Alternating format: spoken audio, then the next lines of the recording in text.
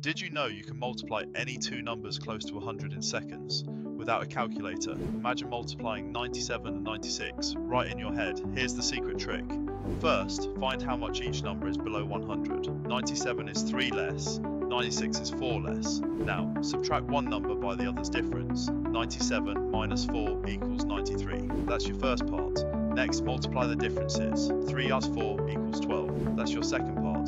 Them together, 93 and 12. Since we're working with numbers near 100, attach the 12 to the end of 93, giving you 9312. That's it. 97 and 96 equals 9312. Why does this work? When numbers are close to 100, you're multiplying their complements and adjusting for how close they are to 100. Let's try another. What's 98 plus 95? 98 is 2 below 100, 95 is 5 below. 98 minus 5 is 93, 2 add 5 is 10. So 98 plus 95 equals 93 more 10.